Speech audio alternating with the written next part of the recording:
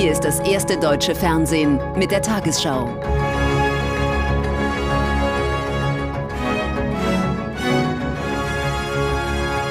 Heute im Studio Julia Nihari-Kasen.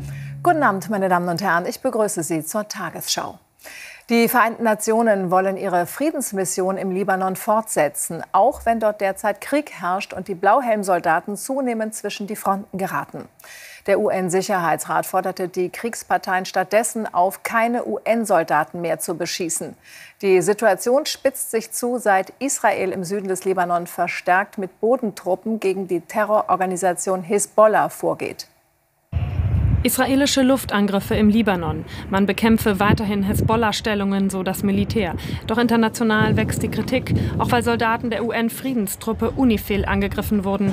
Mit Absicht, sagen die Vereinten Nationen. Der Generalsekretär spricht von möglichen Kriegsverbrechen. Israel weist das von sich. Der Vorwurf, dass Israel UNIFIL-Truppen absichtlich angegriffen hat, ist falsch. Im Gegenteil, Israel hat UNIFIL immer wieder dazu aufgefordert, sich aus der Gefahrenzone zurückzuziehen. Doch die Vereinten Nationen betonen, die Truppen werden bleiben. Man habe ein UN-Mandat. Die UNIFIL-Friedenstruppen sind seit Jahrzehnten im Südlibanon stationiert, nördlich der sogenannten Blauen Linie, die Israel und den Libanon trennt. In der Region bis zum Litani-Fluss sollten rund 10.000 Blauhelme sicherstellen, dass sich die Hezbollah von dort zurückzieht. Doch das konnten die UN-Truppen nicht durchsetzen. Ihr Beobachtermandat ist begrenzt. Aktiv eingreifen dürfen sie nicht. Auch im Norden von Gaza setzt das israelische Militär die Offensive fort. Aufnahmen aus einem Rettungswagen. Man operiere gegen Hamas-Infrastruktur, so das Militär. Hunderttausende Menschen sollen aus dem nördlichen Gazastreifen fliehen. Eine Evakuierungsordnung nach der anderen führt zu massiver Zwangsvertreibung und die Menschen wollen nicht gehen. Mir haben viele gesagt, es gibt keine Garantie dafür, dass wir im Zentrum oder Süden sicherer sind. Seit dem 1. Oktober haben israelische Behörden fast keine Hilfslieferungen in den Norden von Gaza gelassen. Israelische Menschenrechtsorganisationen haben eine Befürchtung, dass Israel im Stillen einen illegalen und schockierenden Plan umsetzt, wonach die Menschen durch Aushungern und Belagern aus der Gegend vertrieben werden. Wenn das passiert, befürchten wir, dass danach israelische Siedlungen dort entstehen könnten. Angesichts der katastrophalen humanitären Lage im Gazastreifen hat die amerikanische Regierung laut jüngsten Berichten gedroht, wenn Israel die Versorgung im Gazastreifen innerhalb der nächsten 30 Tage nicht massiv verbessere, dann hätte das Auswirkungen auch auf Waffenlieferungen. Wegen der Kämpfe im Libanon verlassen immer mehr syrische Flüchtlinge das Land. Mehr als eine Million Syrer waren wegen des Bürgerkriegs in ihrer Heimat in den Libanon gekommen. Viele fühlen sich jetzt dort aber nicht mehr sicher und kehren in ihre Heimat zurück, wo sie eine ungewisse Zukunft erwartet. Sie haben kaum Gepäck dabei, nur die Kinder auf dem Arm und die Kleidung, die sie am Körper tragen. Wegen des Krieges zwischen Israel und der Hisbollah-Miliz im Libanon sind sie hierher nach Syrien gekommen, in ein Land, das selbst am Boden liegt. Sie sagen, es gab keine andere Wahl. Im Libanon gab es um uns herum Explosionen, über uns flogen Kampfflugzeuge, Raketen schlugen ein, wir stehen immer noch unter Schock. Ein Grenzübergang zwischen dem Libanon und Syrien, beziehungsweise das, was nach israelischen Luftangriffen noch vom Übergang übrig geblieben ist. Mehr als 270.000 Flüchtlinge sind es inzwischen, schätzen die Vereinten Nationen. Die meisten davon Syrer, die vor Jahren in den Libanon geflohen waren. Aber auch Zehntausende Libanesen überqueren die Grenze. In Syrien müssen sie sich entscheiden, wohin es geht. In den von Machtaba Assad kontrollierten Teil, in den Nordosten zu den Kurden, die immer wieder vom türkischen Militär angegriffen werden, oder in den Nordwesten, der von teils radikal-islamistischen Aufständischen kontrolliert wird. Internationale Helfer sprechen hier von einer neuen massiven Krise, fordern mehr Geld, mehr Mittel, um die Betroffenen zu unterstützen. Viele dieser Menschen sind auf ihrer Flucht schwer gedemütigt worden, sind etwa um Geld erpresst worden. Gleichzeitig dürfen wir die Menschen im Nordwesten Syriens nicht vergessen, die hier sowieso schon seit so vielen Jahren großes Leid erfahren. Ganz in der Nähe des UN-Hilfskonvois ein Luftangriff, hier wahrscheinlich durchgeführt von einem russischen Jet, sagen Beobachter. Russland kämpft auf der Seite des syrischen Regimes gegen Oppositionelle. Die Menschen, die aus dem Libanon hierher gekommen sind, müssen erkennen, sie sind von einem Krieg in den nächsten geflohen. In den ersten neun Monaten dieses Jahres haben deutlich weniger Menschen versucht, auf irreguläre Weise in die EU zu gelangen. Insgesamt lag deren Zahl bei insgesamt 166.000, wie die Europäische Grenzschutzagentur Frontex meldet. Verglichen mit dem Vorjahreszeitraum sei das ein Minus von 42 Prozent. Die stärksten Rückgänge gab es auf der westlichen Balkanroute und über das zentrale Mittelmeer. Deutlich mehr irreguläre Grenzübertritte wurden dagegen vor allem im Osten der EU, in Polen und im Baltikum festgestellt. Da will Polen jetzt gegensteuern und dafür das Recht auf Asyl zumindest vorübergehend aussetzen. Das hatte Ministerpräsident Tusk am Wochenende angekündigt. Heute hat das Kabinett über Details beraten. Die Regierung in Warschau wirft dem belarussischen Machthaber Lukaschenko vor, in organisierter Form Migranten aus Krisenregionen an Polens Ostgrenze zu bringen. Die polnisch-belarussische Grenze gleicht einem Hochsicherheitstrakt. Dennoch schaffen es immer wieder Flüchtlinge nach Polen zu gelangen, mit Hilfe belarussischer Grenzer, sagt Polens Ministerpräsident Tusk. Die illegale Migration werde als eine Art hybride Kriegsführung von belarussischer und damit russischer Seite eingesetzt. Dem will Tusk einen Riegel vorschieben. Es wird eine vorübergehende territoriale Aussetzung des Asylrechts geben und wir fordern die Anerkennung durch die EU dafür.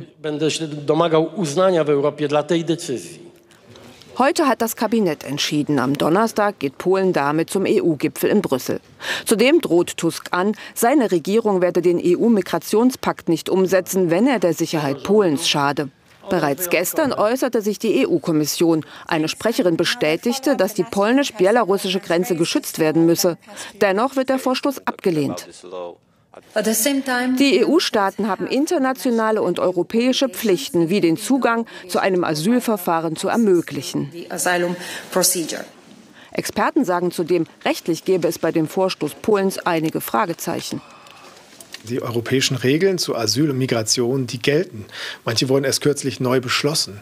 Also wenn ein EU-Staat davon ganz oder teilweise abweicht, wird die EU-Kommission das rechtlich prüfen und am Ende könnte auch der Europäische Gerichtshof da genau draufschauen. Aber Polen ist nicht allein mit diesen Ideen. Auch andere EU-Mitglieder wollen ihr Asylrecht verschärfen. Der Europäische Gerichtshof für Menschenrechte hat Deutschland wegen der Zurückweisung eines Syrers nach Griechenland verurteilt. Der Mann war 2018 zunächst nach Griechenland geflohen und weiter nach Deutschland gereist, um Asyl zu beantragen. Kurz nach seiner Ankunft wurde er nach Griechenland abgeschoben und dort mehr als zwei Monate in einer Polizeistation inhaftiert. Nach Auffassung der Richter hätten die deutschen Behörden sicherstellen müssen, dass der Mann in Griechenland ein angemessenes Asylverfahren erhält und keiner Misshandlung ausgesetzt ist. Deutschland muss nun 8000 Euro Schadenersatz zahlen. Wie bewerten Jugendliche ihre persönliche Lebenslage und was erwarten sie von der Zukunft? Das sind zwei Themenfelder in der Shell Jugendstudie. Das Ergebnis, junge Leute vertrauen mehrheitlich auf Staat und Demokratie. Der Optimismus überwiegt trotz zahlreicher Krisen weltweit. Dennoch gibt es regionale Unterschiede.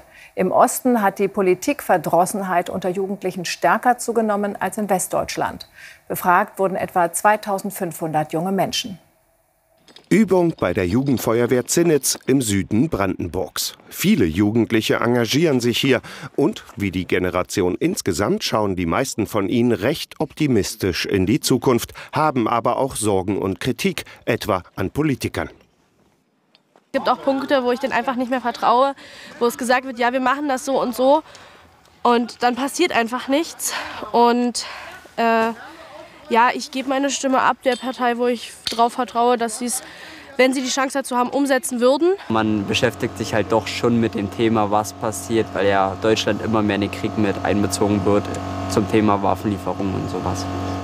Die Shell-Studie 2024 besagt, Jugendliche haben Angst vor Krieg in Europa 81 Prozent, 2019 waren es nur 46. Armut 67 Prozent, 2019 waren es nur 52. Und Umweltverschmutzung 64 Prozent, 2019 waren das noch 71. Ein weiteres Ergebnis der Jugendstudie? Das politische Interesse nimmt weiter zu und Ganz wichtig auch in diesem Zusammenhang, das erste Mal überhaupt ähm, ist es bei Jungs und Mädchen gleich. Also bisher traditionell immer Jungs deutlich stärker politisch interessiert als Mädchen. Das ist das erste Mal nicht mehr so. Das liege daran, dass die Mädchen aufgeholt haben. Insgesamt ist die große Mehrheit, drei Viertel aller Befragten, mit der Demokratie zufrieden. Im Westen allerdings mehr als im Osten. Das deutsche Stromnetz ist eines der zuverlässigsten weltweit. Das geht aus einer Statistik des Branchenverbands VDE hervor. Kunden hierzulande seien im Schnitt alle drei Jahre von einer Störung betroffen. Wenn der Strom ausfalle, gäbe es dafür unterschiedliche Gründe, zum Beispiel bei Bauarbeiten beschädigte Kabel. Am frühen Abend ist die Frankfurter Buchmesse eröffnet worden. Bis Sonntag zeigen etwa 4000 Aussteller ihre Neuheiten. Es gibt Lesungen mit mehr als, von mehr, mit mehr als 1000 Autorinnen und Autoren. Ehrengastland ist Italien. Es präsentiert moderne und diverse Literatur in einem Pavillon. In einem kleineren Raum hingegen feiern die Messeveranstalter einen Klassiker. Gäste können hier die Italien-Faszination von Johann Wolfgang von Goethe spielerisch entschlüsseln. Also das hier müssen wir auf jeden Fall öffnen. Ah ja. Mit Johann Wolfgang von Goethe spielerisch nach Italien reisen. In einem sogenannten Escape Room geht das während der Frankfurter Buchmesse. Gegen die Zeit gilt es in einem geschlossenen Raum Rätsel rund um den gebürtigen Frankfurter Dichter zu lösen, der sich 1786 schreibend auf den Weg nach Italien machte. Literatur zum Erleben, auch im Pavillon des Ehrengastlandes Italien. Er präsentiert sich besonders mit Autorinnen und Autoren, die die Fragen der jungen Gesellschaft Italiens in den Mittelpunkt stellen. Was ist die Rolle der Frau? Wie geht es mir in Süditalien? Was bedeutet das, wenn ich nach Rom umziehe? Ja, also diese Themen, die wirklich in der Gesellschaft stehen, bringt Italien mit. Und das finde ich toll. Wir brechen die Klischees. Bereits vor der Eröffnung hat das Gastland für Diskussionsstoff gesorgt. Italienische Autoren warfen offen ihrer rechten politischen Führung vor, regierungskritische Stimmen von der Buchmesse auszuschließen. Zum ersten Mal wird es einen eigenen Bereich für den wachsenden Markt New Adult geben. Romane für junge Erwachsene, die sich in den sozialen Medien und auch bei Events der Buchmesse intensiv über die gelesenen Geschichten austauschen. Zurück im Escape Room. Ich mochte den Einfluss Italiens richtig in Goethes Reisen. So war mir nicht so ganz so bewusst. Die verschlossene Tür öffnet sich. Das italienische Goethe-Rätsel ist gelöst. Mit einem Sieg gegen die Niederlande hat die deutsche Fußballnationalmannschaft vorzeitig das Viertelfinale der Nations League erreicht. Das Team von Julian Nagelsmann gewann mit 1 zu 0. Gleich mehrere Spieler feierten dabei in München ihren Einstand in der DFB 11. Debütant Jamie Leveling vom VfB Stuttgart erzielte den entscheidenden Treffer. Die Weltmeister sind noch gar nicht richtig verabschiedet worden, da treten schon die Nachfolger auf die große Bühne. 20 Monate vor der nächsten WM ist der Generationenwechsel vollzogen. Das Turnier startet dann nicht am ersten Turniertag, sondern das Turnier startet schon jetzt und ähm, bisher ist das sehr viel besser als äh, vor den letzten Turnieren, was wir zeigen. Bundestrainer Julian Nagelsmann hat es offenbar geschafft, eine Mannschaft mit Perspektive zusammenzustellen. Denn trotz vieler Ausfälle überzeugten gerade die Youngsters gegen die Niederlande. Weil sie offenbar jedes Spiel ernst nehmen. Das ist der Unterschied zu den letzten Jahren. Und dann geht es schon darum, einfach versuchen, jedes Spiel zu gewinnen, so wie das andere Mannschaften auch vorgemacht haben. Das hilft dir natürlich, ähm, ein gewisses ja, ein Selbstverständnis zu entwickeln, aber auch so ein nachhaltiges Speichern innerhalb der Spielerköpfe, dass sie wieder eine Gewinnermannschaft sind. Und deswegen geht es ums Gewinnen. Genau so entsteht ein rauschendes Fußballfest. Das frische, junge Gesicht der Nationalmannschaft überzeugt durch mutigen Offensivfußball. Nur ein Tor geschossen durch Jamie Leveling, aber viele Möglichkeiten gehabt. Und vor allem den Niederländern fast keine Chance gelassen. Ich finde schon, dass die Gier, die die Mannschaft aktuell verkörpert, äh, Spiele gewinnen zu wollen, schon ein sehr, sehr großer Schritt ist. Die Next Generation hat, bei aller Euphorie, aber noch einen weiten Weg bis zu einem möglichen Titelgewinn 2026. Ausgewachsen können Panda-Weibchen schon mal 100 Kilogramm auf die Waage bringen. Der Nachwuchs im Berliner Zoo ist davon noch weit entfernt. Ab morgen können Besucher täglich jeweils eins der Zwillingsmädchen bestaunen. Momentan haben sie ausschließlich chinesische Namen. Bald sollen deutsche Spitznamen dazukommen. Gerne mit Berliner Bezug, so der Zoodirektor. Und nun die Wettervorhersage für morgen Mittwoch, den 16. Oktober. Hoher Luftdruck über Osteuropa, tiefer Luftdruck über dem Atlantik. Dazwischen strömt sehr milde bis warme Luft zu uns. In der Nordosthälfte ist es in der Nacht oft klar, sonst locker bis stark bewölkt, mancherorts etwas Regen oder Niesel. Vor allem im Süden und Südwesten Nebel. Am Tag ist es im Osten oft sonnig, sonst Wolken und Sonne im Wechsel, im Südwesten länger Nebel, nur im Westen vereinzelt etwas Regen. In der Nacht 14 bis 0 Grad, am Tag 12 Grad auf Rügen, 23 Grad im Westen und an den Alpen. Am Donnerstag im Westen mehr Wolken als Sonne, hier unter Regen, auch am Freitag. Viel Sonne im Osten, im Nordwesten und Südwesten örtlich Schauer, sonst ist es meist trocken. Am Samstag ist es von der Ostsee bis nach Sachsen länger sonnig, vom Südwesten bis in die Mitte gebietsweise Regen. Zuversicht trotz wachsender Angst vor einem Krieg in Europa. Um 22.15 Uhr berichten wir in den Tagesthemen mit Jesse Wellmer über Ängste und Hoffnungen junger Menschen. Und wir feiern ein Wiedersehen nach 80.000 Jahren mit einem Kometen vom Rande unseres Sonnensystems. Ich wünsche Ihnen noch einen schönen Abend.